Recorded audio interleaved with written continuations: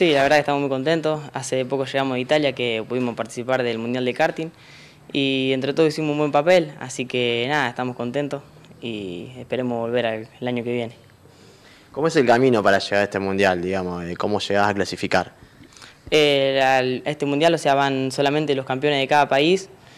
Eh, en el caso de Argentina, en mi categoría, el campeón de todo el año también fue y como sobraba un cupo, se hizo una carrera, un Open, que se, se pueden venir de todos los países, había paraguayo, brasilero, eh, que el que gane esa carrera gane el cupo. Eh, decidimos con mi papá armar un karting para ir, total, no, o sea, se podía ganar mucho y no se perdía nada.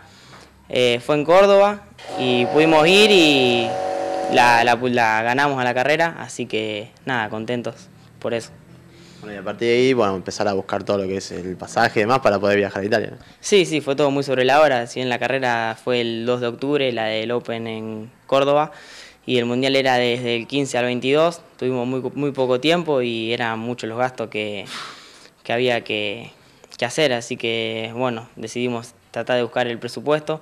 La municipalidad nos dio una mano, Montanari también, y mucha gente que viene acá al taller y amigos, familiares, mis tíos, todos nos dieron una mano muy grande y bueno, pudimos ir con la cabeza tranquila que el presupuesto estaba.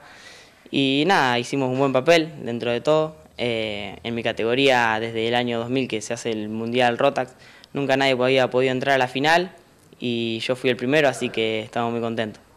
Bueno, nos decía también que cuando llegan eh, allá es para todos iguales en cuanto bueno, al karting que te entregan, también las herramientas y demás, todos arrancan de cero. Sí, sí, o sea, lo que tiene el Mundial Rota es que es muy parejo para todos, eh, todos tenemos la misma herramienta, los pilotos, eh, motor 0 kilómetro y chasis 0 kilómetro, la misma marca y a sorteo, o sea, el primer día de la carrera junto con la inscripción se hace el sorteo de los karting, te toca uno, vos agarras tu butaca y con una caja de herramientas y con eso tenés que arreglarte todo el fin de semana. Eh, está bueno porque de nosotros desde acá, que estamos muy lejos, es para todos igual, o sea, no, los europeos en eso no te pueden hacer diferencia. Y es muy parejo todos los karting, los pilotos, todo, como son todos campeones, eh, hay muy, muy buen nivel. Bueno, ¿y cómo fue toda esa semana previa de clasificación para, llegar a la final? Bueno, el lunes arrancaron las pruebas, la primera tanda de prueba era para ablandar el motor que era 0 kilómetros, eh, la segunda tanda ya era con sensores y bueno, nos sorprendió un poco, quedamos primero en la primera tanda, era algo que no nos esperábamos, porque sabemos que es muy difícil, pero una vez que estuvimos ahí y quedamos primero, bueno, seguimos dándole para adelante, tratando de hacer lo mejor posible. Igual tuvimos mucha mala suerte que eran solo cinco tandas y nos llovió en tres, o sea que mucho más no pudimos probar. Y la parte sabíamos que la final iba a ser con pisos secos y teníamos la posibilidad de entrar. Pero bueno, con la herramienta que teníamos nos arreglamos bastante bien eh, en las mangas pude terminar en una décimo, después tuve un recargo, me mandaron 22, en otra me choqué y en la última manga terminé séptimo, haciendo el tiempo de punta. Sabíamos que teníamos buen ritmo, buen karting, eh, íbamos bastante rápido. Y después teníamos la prefinal, que la prefinal entraban solamente los primeros 17. Yo largaba en el puesto 20 por el tema de que las mangas no me había ido tan bien.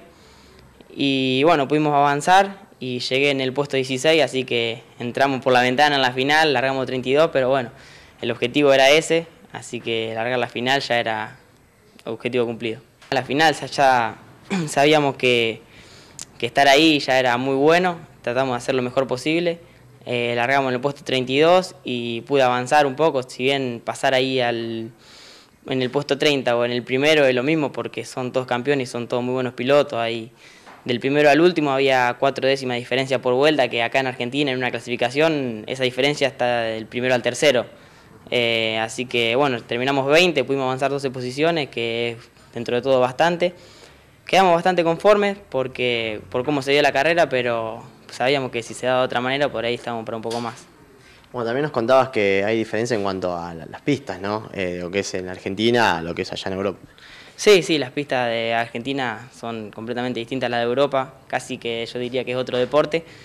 Eh, en Argentina una pista tiene 1000 metros y allá tiene 1500, 1600 y son el doble de anchas, eh, pero bueno, tratamos de adaptarnos lo mejor que pudimos. es complicado, porque acá en Argentina desde el año 90 que no se hace ningún circuito nuevo y allá eh, constantemente se están haciendo pistas nuevas y de primer nivel. Si para esta carrera en la pista de Nápoles, que fue donde fue la carrera, eh, se asfaltó completamente toda nueva y acá se ponen parches, crece pasto dentro de la pista, así que estamos muy lejos, en cuanto a todo eso estamos muy lejos.